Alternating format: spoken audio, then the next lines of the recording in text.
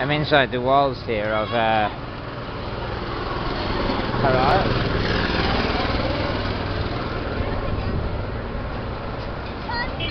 Yeah, the city of Harar in Ethiopia. Late afternoon. Um,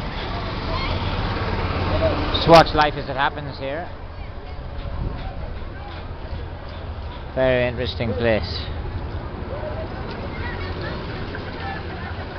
You feel a bit kind of totally out of place because there's not really many foreigners, even though it's very it's a touristy looking.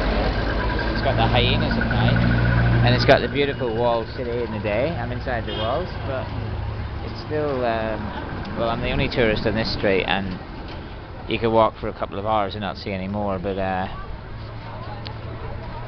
yeah, it's a nice kind of busy happening city. Everybody's doing something